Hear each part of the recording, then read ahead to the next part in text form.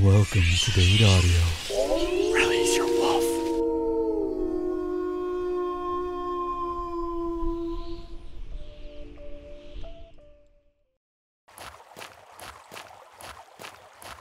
And what do you think you're doing in my forest? Yeah, it's my forest. Well, our forest.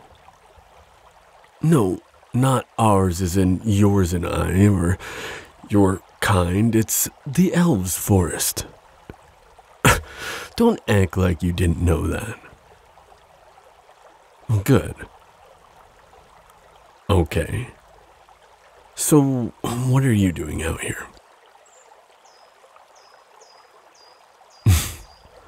oh, you're one of those. You know, one of those humans that think you're funny with your smart aleck answers. I'm pretty sure it's a customary human trait. Every one of you that I meet is the same way. You're different how? I don't think you're actually funny. Well, you've started off in a very poor way. Anyhow, as I was saying, what are you doing in our forest, human? Hmm, you came to see the elves. Hmm. Why would the elves want to see you? Well, no, I did not say that. Well, no, I mean, you are an attractive specimen for a, a human.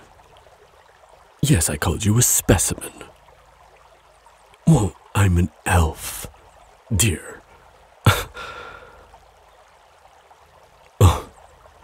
What do you mean, so it's true? Well, we are better than humans. We live for centuries in harmony with the earth, whereas you humans live an insignificant lifespan and do nothing but harm for the planet. I dare say that maybe there are a few of you that are different, but overall it doesn't really matter, does it now? As most of you are a curse, a plague on this land.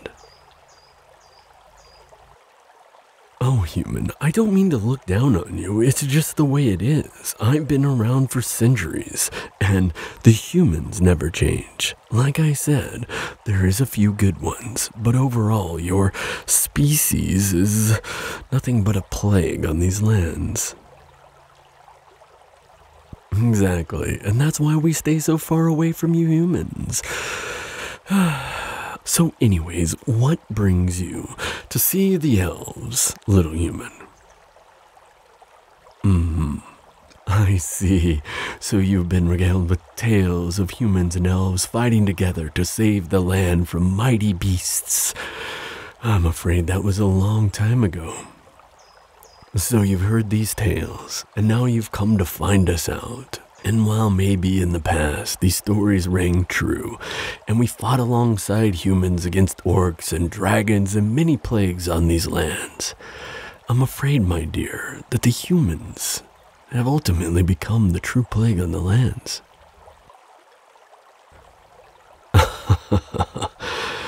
Nonetheless, you still want to meet with the elves. what stories were you told that are so fascinating that would bring you here? Oh, okay. Wait, what was that name? What is your family's name? Ah, I see. A descendant. Marvelous. Ah, I apologize. I'm a bit taken back. Well, truth be told, um, I am Arlick. I'm the elf that you're talking about. I'm afraid it's true. Like I said, us elves, we live for centuries. Ah, I remember them well. Hmm, yes. well, I see where you get your beauty from. Well, it seems like the tales have been passed down through your family very well. I'm actually glad to meet you. that is true, and I apologize for my harsh nature at first.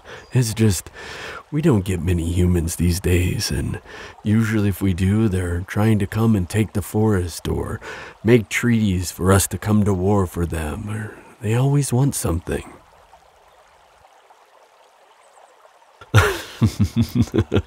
I suppose that's true in a way.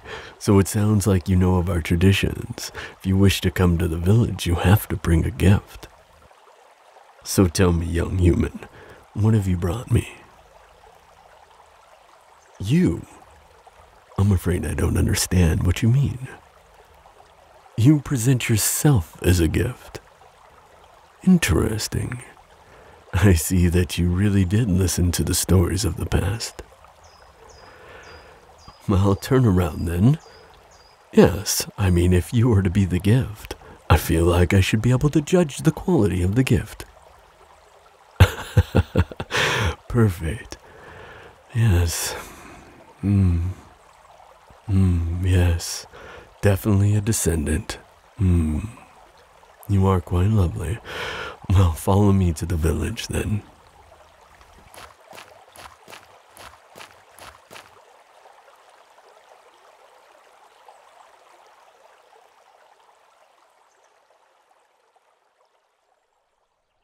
Well, have a seat there. Would you like some tea or a snack? It is a long journey from human lands to here, after all. Excellent. Let me put on a kettle.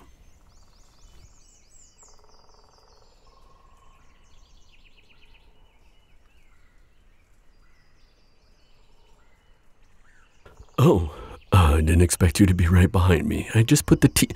Mm. Um, why did you kiss me? The gift. I don't understand. Why are you. Oh. I see now. No, it was just rather forward. I'm not saying I didn't enjoy the kiss, I just didn't expect it. I suppose I would like to try again, yes. Hmm. Hmm.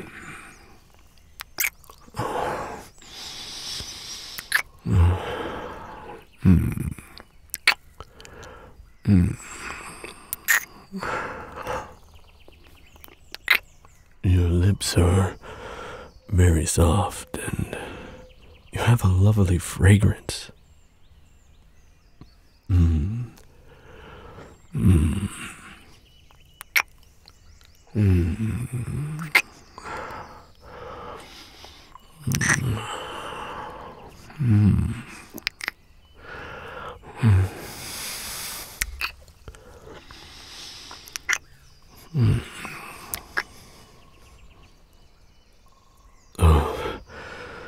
maybe we should uh, adjourn to the other room?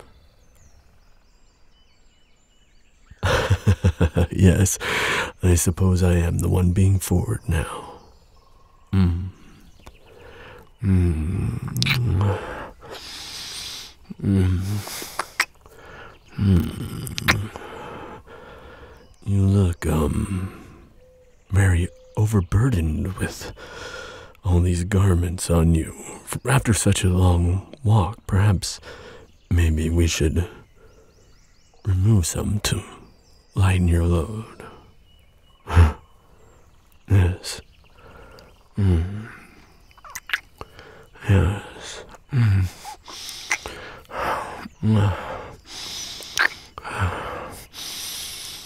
Oh.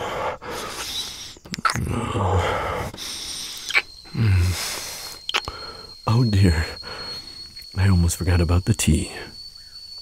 Mm.